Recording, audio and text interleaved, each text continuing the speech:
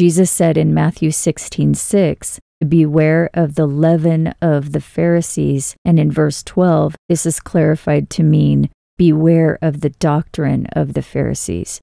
This means that the leaven is the doctrine of the Pharisees.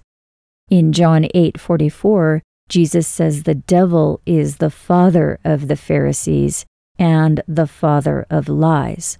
If the devil is the father of lies and the father of the Pharisees, then this means the Pharisees are lies and their doctrine is lies. So if the leaven represents their doctrine and their doctrine is lies, then the leaven represents false doctrine or lies.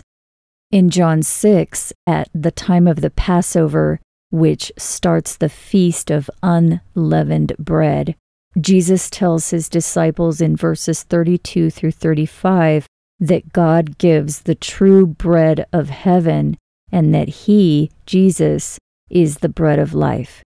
Then in John 14 6, Jesus says that he is the truth, the way, and the life. So if Jesus is the bread and Jesus is the truth, then the bread is the truth. So if the bread is the truth and leaven is the lies, then leavened bread refers to lies mixed with truth. In Revelation 17:14 it says the lamb is the king of kings. In John 1:46 it says Jesus is the lamb. Therefore Jesus is the king of kings. Revelation 19:13 and 16 says the king of kings is the word of God. If Jesus is the king of kings and the king of kings is the word of God, then Jesus is the Word of God. If Jesus is the bread and Jesus is the Word of God, then the bread is the Word of God. Therefore, Jesus' warning was this Beware of the lies in the Word of God.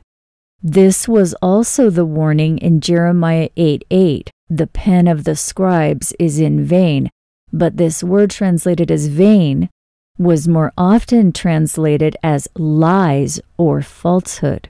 So it says the pen of the scribes is in falsehood. It's well known, or it should be well known, that the tactics of the deceivers heavily involve disinformation, which are lies that are mixed with truth. The truth is the bread, the leaven is the lies. They eat the bread and it tastes good, but they are unknowingly bringing lies into their body. This is how the beast gained its worshippers. It mixed lies into the Word of God. Jesus said in Matthew 13 13 that he spoke in parables because even in seeing and hearing, they would not understand. Gabriel told Daniel in chapter 12, verse 10, that the wicked will not understand. This is because they eat the whole bread with the leaven instead of separating out the pure flour, the pure wheat. They read the whole Word of God without separating the lies.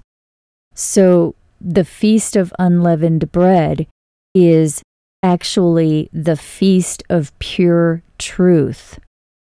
For more information on the recent biblical prophetic fulfillments, see the playlist linked here. Thank you to those who make this work possible. If you like this video, please consider providing support. I hope you're doing well, and I'll talk to you again soon.